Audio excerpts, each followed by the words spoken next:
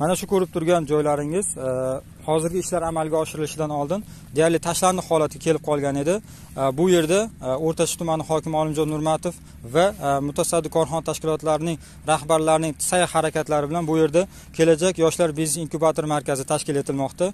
Bu kelajak yoshlar biznes inkubator markazida qaytmas mahallasi va hududga yaqin bo'lgan mayramko'l mahallasidan jami yigirma bir nafar ishsiz yoshlar bu yerda ish bilan band bo'ladi. Ya'ni ular qanday ishlar bilan band bo'ladi? Bu yerda mana shu dala ko'rib turgan dala maydoningizda issiqxona kompleksi tashkil etiladi. Shu bilan birgalikda e, zovur hududida baliq boqish uchun havza tashkil etiladi. Shuningdek e, bu e, mana shu yo'limizda zamonaviy yo'l va uni ikki atrofi yashil makon doirasida chiroyli o'sha yashil zonaga aylantirilishi rejalashtirilgan. Umuman olganda mana shu bu yerda ishlayotgan o'zini qo'shimcha daromadga ega bo'layotgan shu hudud yoshlari nafaqat bu yerda ishlaydi balki e, bu yerda dam olish hududlari ham tashkil etiladi ya'ni shipon e, va boshqa bir qator ko'ngilochar e, hududlar ham shu yerda tashkil etilib bu yerdagi aholi ish bilan birgalikda dam olish hududiga ham bu yer aylantirilishi rejalashtirilgan umuman olganda o'rta chirchiq tumanida bu ishlar ya'ni kelajak yoshlar inkubatori biznes markazi mana shu qaytmas mahallasida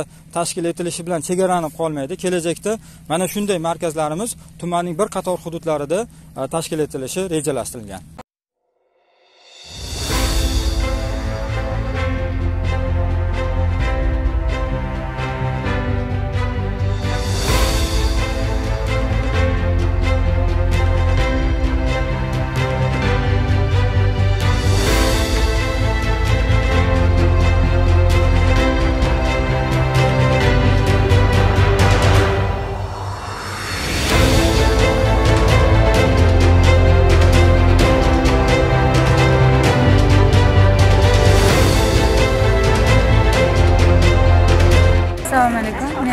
Men rustamova musora o'rta chirchiq tumani qatmas muhayisda istiqomat qilamiz. Mustaqil ko'chasi sakkizinchi uyda mana biz ishsiz yoshlarga davlatimiz tomonidan bo'sh yerlar berilyapti. Bundan biz judayam xursandmiz. Bu yerlardan endi unumli foydalanishga harakat qilamiz. Buning uchun shu sharoitlar yaratib bergan davlatimiz rahbarlariga minnatdorchilik bildiramiz.